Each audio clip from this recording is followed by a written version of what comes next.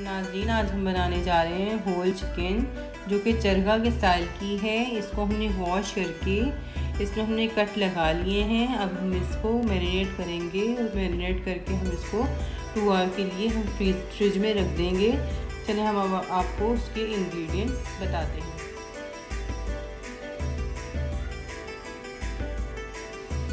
हम, हमें इसमें two tablespoon of tikka require है।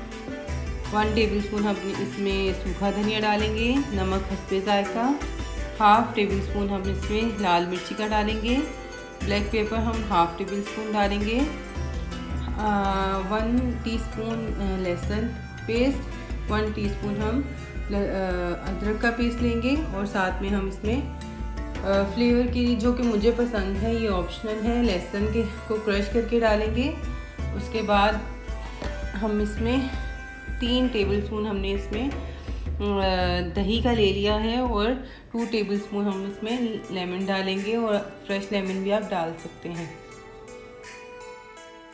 वॉश कर चुके हैं। अब हम इसमें ये सब अपने सब मसाले डालेंगे।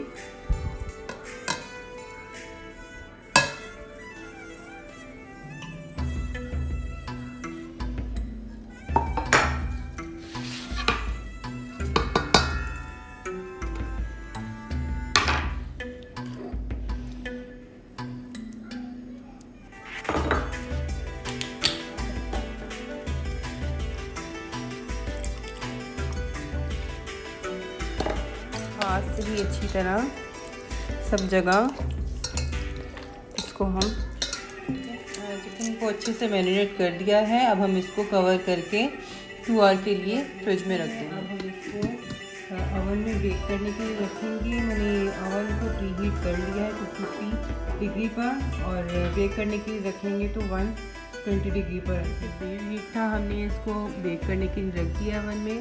अब हम इसको आधे घंटे के बाद हम इसकी साइड चेंज करेंगे। फिर उसके बाद दूसरी साइड है, अब हम इसको इसकी साइड चेंज करेंगे ताकि इसकी दूसरी साइड से बन जाए। साइड चेंज कर दी है।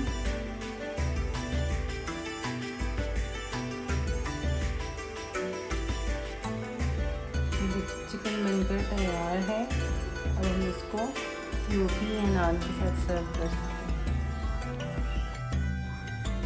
चिकन बनकर तैयार हो चुकी है इसको मैंने।